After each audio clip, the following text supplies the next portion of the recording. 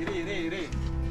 ನಾನು ಏನು ನಿಮ್ಮ ಎದೆ ಮೇಲೆ ಹಾಕ್ತಿಲ್ಲ ಅವನ್ನ ನೆರಳಿಗೆ ತಗೊಂಡ್ಬಿಡ್ತೀನಿ The tractor has ran over the cobra. You can see the pin here, the injury.